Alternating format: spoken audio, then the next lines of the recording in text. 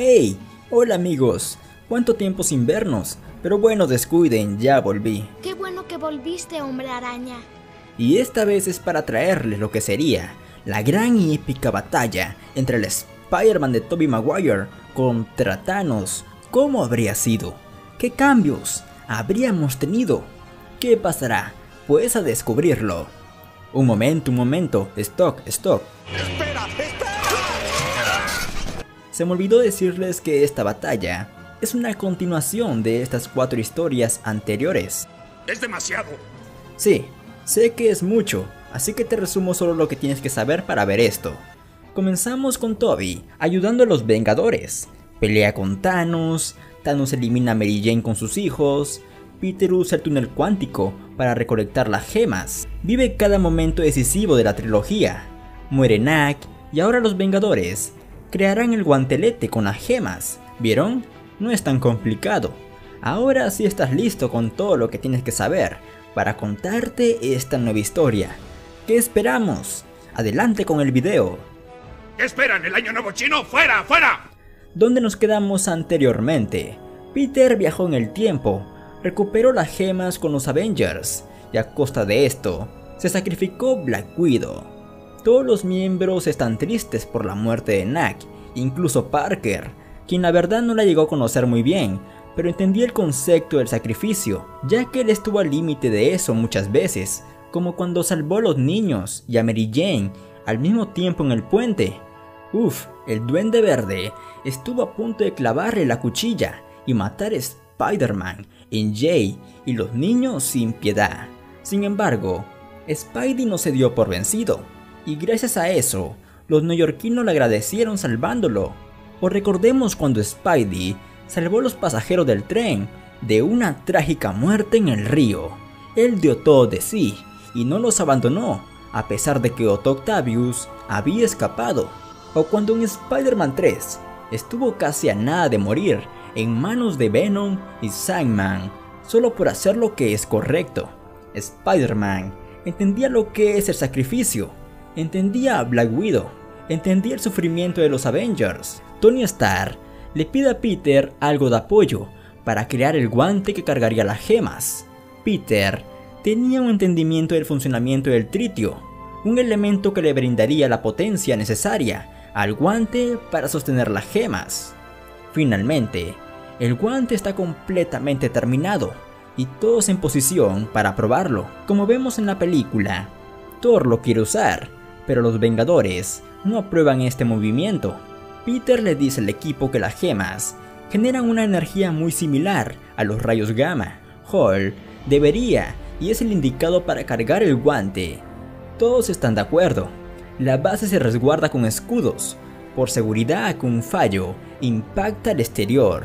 Todos están listos. Peter Parker forma un círculo de telaraña sobre ellos. Llegó la hora. Hall agarra el guantelete, lo pone en su mano y Snack chasquea los dedos. Se forma una luz brillante en la sala y Hall inmediatamente cae al suelo. Todos se preguntan, ¿funcionó? ¿Lo lograron?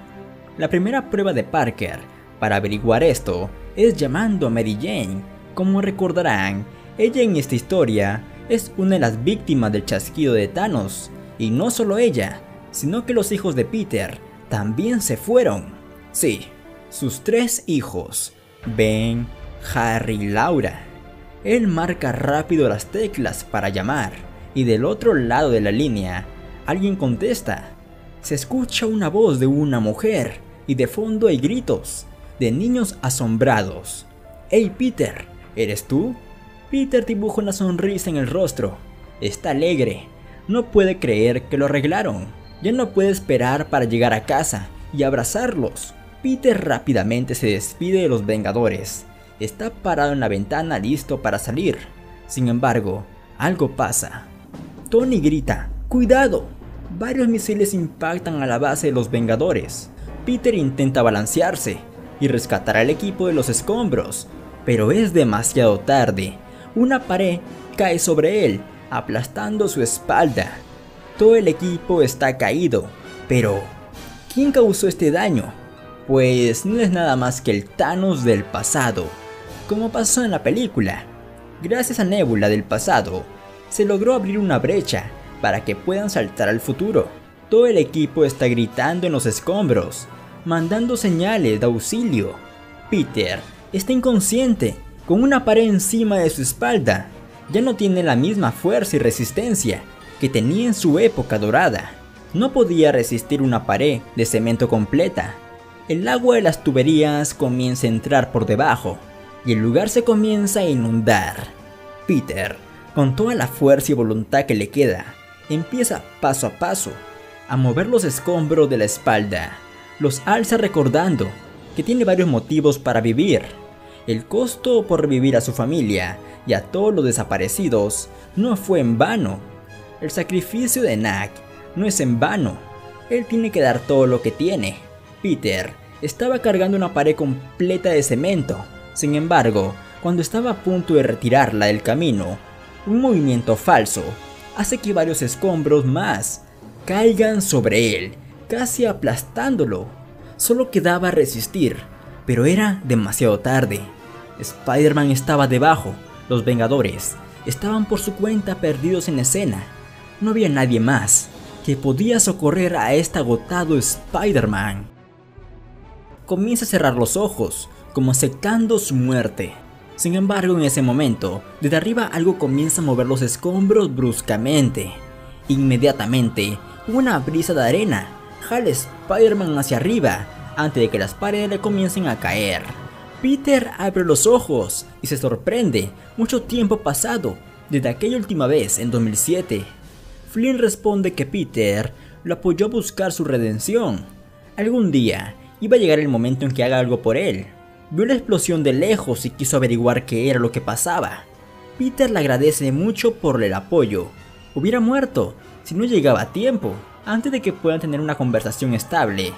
Thor, Iron Man y el capitán llegan al lugar. Creyeron que habían perdido a Peter y ahora les alegra que esté bien. Tony está a punto de presentarse con Flynn, pero Flynn por la TV ya saben quiénes son todos, así que les dice que no es necesario una presentación. En ese momento de plática, Thanos aterriza en el lugar. Capitán, Tony, Thor, Peter y Simon, quien se sumó al momento, se van acercando hacia él. La mayoría no puede creer que esté vivo. Kak delante de ellos le menciona que no importa quién o de qué época venga, juraron proteger la Tierra y no iban a dejar que cualquier amenaza los detenga. Iron Man vuela diciendo el ataque. Spider-Man se balancea, dando patadas en el rostro a Thanos, mientras que Simon forma una mano de arena gigante y golpea a Thanos sin piedad. Thanos con espada comienza a atacar cualquier golpe. Comienza con Iron Man, a quien clava su espada en el reactor de energía y lo deja tirado. Luego con el capitán, a quien lo agarra del cuello, la ahorca intentando matarlo, hasta que Thor le lanza su hacha, sacando a Thanos del camino. Sandman empieza a encerrar a Thanos en una celda de arena gigante, lo quiere retener adentro. Sin embargo, en ese momento, varias naves desde arriba comienzan a hacer disparos y atacar. La celda de arena se destruye. Los Vengadores se resguardan de los disparos, algunos heridos y otros apenas levantándose. Desde lejos, llega Thanos con todas sus tropas alienígenas, criaturas empoderadas, acercándose al campo de batalla. Los Vengadores ayudan a levantarse uno al otro. Aún la pelea no termina, tienen que honrar su promesa y no darse por vencidos. El capitán le pregunta a Peter si la arañita ya está cansada. Peter entre risas responde que ha resistido golpes más duros que a esos. Tony entre risas le dice que bueno, entonces por él sería suficiente para acabar con estos malnacidos. Sin embargo, en ese instante, una voz escucha detrás de ellos, diciendo, pero qué soberbios, ¿seguro que no requieren algo de apoyo? Fury estaba ingresando por un portal de Strange y traía consigo a todos los Vengadores caídos que quedaron desaparecidos mediante el chasquido de Thanos. Tony, Stick, Y Peter, incluso Marco, no podían creer lo que estaban viendo al frente suyo. Del portal Salían asgardianos, fuerzas de Wakanda, seres alienígenas y hechiceros. Toda ayuda potencial que iguala y pueda acabar con el ejército de Thanos de una vez por todas. El resultado de esto para Peter era que se siente impulsado y motivado aún más de defender la Tierra, sabiendo que todos son parte del mismo legado. El capitán agrupa a los Vengadores, todos se reúnen uno tras otro. El equipo de Thanos está al frente, listos para atacar. Peter en delantera con Tony, Stig y Thor observan directamente a sus oponentes, esperando una gran señal para avanzar. Y en este momento, Tony grita con todas sus fuerzas, Vengadores, y el capitán responde, Unidos. Todas las naves, arsenal y fuerzas de combate de los Vengadores se mueven heroicamente directo al ejército de Thanos. Thanos da la orden de atacar y todas las fuerzas igualmente se mueven a la misma velocidad que nuestros héroes. Ambos equipos se encuentran y se produce una épica batalla, brutal, desenfrenada, donde cada héroe hace uso de sus grandes habilidades para derrotar a su oponente. Desde lejos, la gente observa la gran magnitud del combate. Hay humo, explosiones, desde la gran distancia, un helicóptero proyecta a los televidentes todo el impacto de la batalla en la base Vengadores. Jonah Jameson presenta las noticias declarando que justo cuando el mundo recuperaba la crisis que empezó hace 5 años, seres de otra galaxia llegaron para volver a sacudir la Tierra. Desde el campo los Vengadores hacen su mayor esfuerzo para vencer al equipo de Thanos y van teniendo la ventaja. Tony dice que esto no termina hasta que devuelvan las gemas a su tiempo de origen. Solo tienen que llegar al túnel cuántico que se encontraba bajo los escombros. Peter dice que él se encargará de devolver las gemas, así que agarra el guante y se traslada en busca del túnel. Sin embargo, algo corta su red en pleno balanceo. Era Thanos, quien cortó con su espada la red de Peter, trayéndolo directamente a su camino. Peter estaba parado con el guante frente a Thanos. No lo iba a dejar escapar con el guante, así que Peter lanza el guante a Capitana Marvel, quien había llegado también al campo de batalla. Él detendrá a Thanos. Thanos avanza y le lanza la espada directo a la cabeza de Peter, pero Peter la esquiva, coge la espada con su reg y se la regresa a Thanos hacia el pecho. Thanos agarra su espada y la tira al suelo, se saca el casco, también su armadura, y dice, veamos de qué has hecho, arañita, sin reg ni saltos. Sin embargo, antes de que Thanos pueda decir otra palabra, Peter le lanza una reg a la boca y responde, ese no es mi estilo. Peter salta sobre él y le da varios golpes en la cara, balanceándose a su paso, esquivando varios ataques de Thanos. Lo hace caer atando sus piernas y comienza a golpear su cara sin piedad. Spider-Man estaba teniendo una ventaja ante Thanos.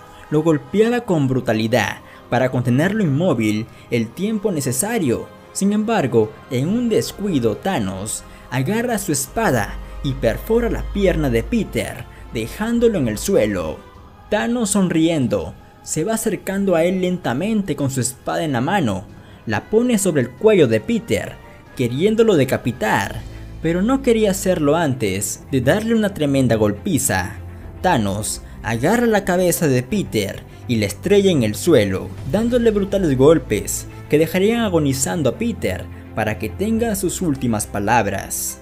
Peter, ensangrentado y muy herido, se intenta arrastrar para salir del camino. Thanos dice, miren a la pequeña arañita, moviéndose para ir a su nido.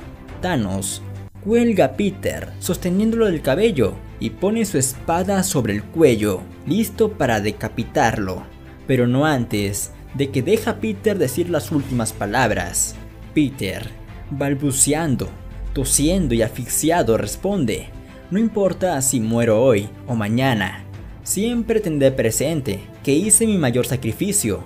Soy lo que elegí ser y me sentiré orgulloso de hacer lo que es correcto. Puedes matarme ahora, ya cumplí con mi destino. Thanos alza el brazo a punto de decapitar con espada a Peter, pero en ese momento, un martillo golpea a Thanos en la cabeza y hace caer a Peter al suelo. Es el capitán junto a Thor y Iron Man, salvando a Peter de una muerte brutal. Ellos tienen un breve enfrentamiento contra Thanos, mientras que Capitana Marvel también llega al auxilio con el guante en su brazo. Sin embargo, en un descuido, Thanos se lo logra arrebatar, pero no es demasiado tarde para que Tony intervenga, intentando quitarle el guante a Thanos con las gemas. Sin embargo, Tony es expulsado de un golpe y noqueado en el suelo. Thanos camina hacia él diciendo, no sería una batalla digna, sin la derrota de un fuerte oponente. En ese momento, Thanos alza sus brazos y ferozmente clava su espada en el pecho de Tony. Pero, esperen un momento, el pecho de Tony no está sangrando. La espada logró tocar a alguien quien rápidamente se sobrepuso sobre él. Era el pecho de Spider-Man, quien tuvo la oportunidad de proteger a Tony antes de que la espada impacte su pecho. En la mente de Peter llegan flashbacks de cómo Harry se sacrificó por él y terminó pagando el precio de su culpa. Thanos lanza a Peter y lo deja fuera de su camino. A él ya no le importa perder más tiempo, así que se pone el guante con las gemas, listo para tronar los dedos. Sin embargo, cuando dice yo soy Thanos, se da cuenta de que el guante estaba vacío, le faltaron las gemas. En este momento, una voz interrumpe diciendo, Y yo siempre seré el hombre araña. Peter había tomado parte de la armadura de Iron Man, que había sido tirada en el suelo luego de los brutales golpes de Thanos contra Tony. Peter había envuelto parte de esa armadura en su mano para sostener las gemas. Antes de que Thanos responda, Peter truena los dedos con las gemas. Una luz nubla fuertemente su vista y Peter aparece en otro lugar, en el auto, junto a Tío Ben. Tío Ben le dice que se siente orgulloso del hombre en que se convirtió. Ha llegado al destino del camino que inició hace años. En el fondo, se puede apreciar a Harry, Otto, su esposa Rosie, Norman, Eddie, Connors y todas las personas que influyeron de una u otra manera en la vida de Peter. Después de recordar parte de su memoria, Peter aparece caído en el campo de batalla con los Vengadores. Tony se acerca a él y le dice, levántate muchacho, lo hicimos, lo lograste, ganamos. Thanos se fue, es hora de festejar. Un Peter moribundo con la mitad de su pecho quemado balbucea para hablar. Estaba demasiado débil. En este momento, alguien en silla de ruedas llega al lugar. Era tía May llorando, quien se levanta y acude a socorrer a su sobrino. Ella lo abrazaba fuertemente llorando sobre él. Ella le confiesa que siempre supo el secreto y todo el poder que conlleva. Peter solo responde cansado. Está bien, tía May. Una vez le habló sobre cómo los Henry necesitaban un héroe, valiente, que se sacrifique por todos, aunque eso cuesta renunciar a todo lo que más queremos, hasta nuestros sueños. Todos los Vengadores estaban observando tristemente cómo Peter cada minuto decaía más y más. No lo iba a superar. Finalmente, Peter va cerrando los ojos, deja caer sus últimas palabras. Dile a Harry, Ben y Laura que los amo. Lo hice por ellos. Todo Nueva York y el mundo se encuentra triste por la inesperada muerte de Spider-Man. Al siguiente día, le hacen una gran ceremonia en honor a él, liderada por tía May, y finalmente pasan al cementerio para sepultarlo, junto a la tumba de Harry y el tío Ben. Y bueno chicos, esta fue la emotiva y trágica historia de cómo hubieran sido los eventos si el Spider-Man de Tobey Maguire estaría participando en Avengers Endgame. Habría muchas lágrimas de machos. Hazme saber tu opinión en los comentarios. Además, haz caer tu like si te gustó la historia. ¿Qué hubieras agregado? Suscríbete para ver más videos que cualquier persona normal tiene que ver. Nos estaremos viendo hasta la próxima. Y ya sabes, no llegues tarde. Ahí estaré.